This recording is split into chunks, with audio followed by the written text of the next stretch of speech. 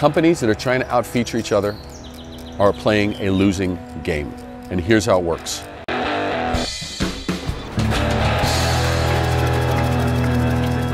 Every company gets caught in the losing game of we're better, we're better, we're better, and trying to outfeature each other. If you are going, well, well, we're better, we're better, you're playing the incremental game.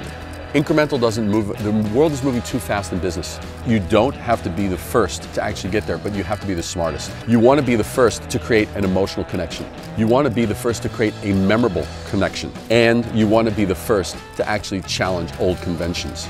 Being better is not as anywhere near as good as actually being different. Being different actually means we're now playing to our rules.